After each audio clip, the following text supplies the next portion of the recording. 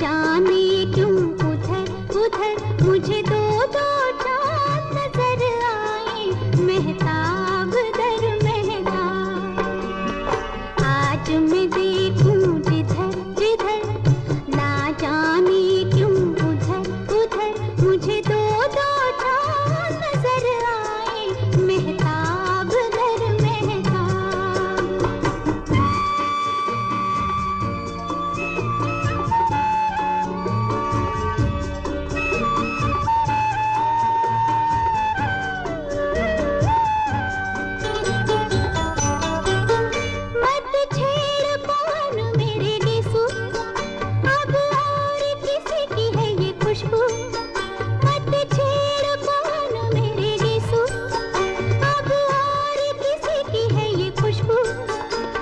मीठा